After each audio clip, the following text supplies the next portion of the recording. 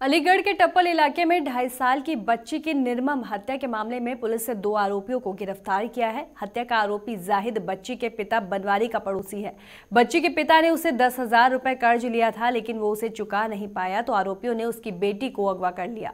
तीन दिन बाद मासूम बच्ची का शव घर के पास कूड़ा घर में पड़ा मिला। पोस्टमार्टम रिपोर्ट के अनुसार बच्ची की हत्या गला घोट कर की गई है। दो दिन की जाँच पड़ताल के बाद पुलिस ने जाहिद और उसके साथी असलम को गिरफ़्तार किया है। वही पूछ पूछताछ में सच्चाई सामने आने पर पुलिस ने दोनों आरोपियों को जेल भेज दिया है।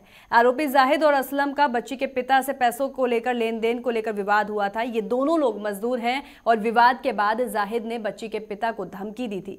उन्होंने बताया कि पुलिस ने जाहिद को हिरासत में लेकर पूछताछ की तो उसने अपना जुर्म कबूल कर लिया है। उसने बताया कि उसने अपने साथी असलम के साथ मिलकर इस वारदात को अंजाम दिया था।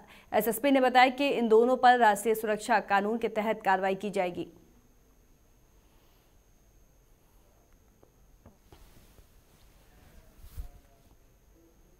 फ़िलहाल इस बुलेटिन में इतना ही। देश दुनिया की तमाम खबरों के लिए आप बने रहिए लाइव टुडे के साथ।